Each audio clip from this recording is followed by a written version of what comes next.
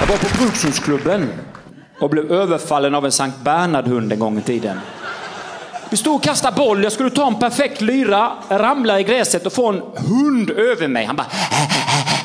Han började glöfsa och slicka och drav, jag, dregla och nafsa och jag blir blöt, för hundhår i munnen, kan inte komma loss. Jag tänker så här är det att vara kvinna. Så här känns det. Eller hur tjejer? Och har någon jävla kar över sig som bara... Är det skönt? Eller hur? Där kommer de bara, uppfödda på Deutsche Nallkanal. Är det skönt? Tycker du det är skönt? Nej, det är inte speciellt skönt. Nu då? Tycker du det är skönt nu då? Eller hur? Känner ni igen er? Jag hoppas inte det. Får ni sådana hundar i sängkammaren, bara kasta ett ben till dem. Alltså man ska ju vara som en katt i sängkammaren, eller hur? En katt den är graciös, den vet vad den vill. Den kommer in bara... Njau, bo, bo, bo, bo.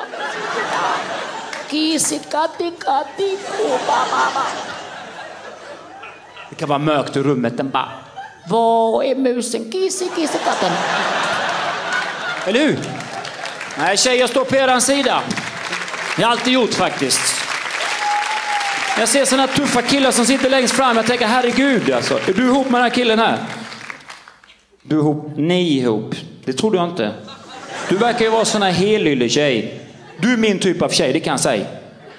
Jag har alltid gillat sån svensk lantras som dig. Rejäla överarmar. Du kan byta vinterdäck. Tappa upp en öl. Ja. Men du, du har fått en, du har fått en trevlig, du, du är nämligen en jävligt trevlig kille. Jag ser på dig, du har ju lite humor, du kan skratta åt dig själv och sånt. Exakt. Det hade jag också gjort. Ja, du, du, är lite, du är inte så hård som du ser ut. Du vill vara hård, eller hur? Tuffa tatueringar och sådana saker. Du är precis som mig, fulsnygg. Det är det, bästa du, det är det absolut bästa man kan välja som kille. Fulsnygg kille. För du, du får hålla med om att han inte är 100% snygg så sett. Eller? Är du blind eller? Du ser väl hur han ser ut? Nej, tjejer, akta er för snygga killar.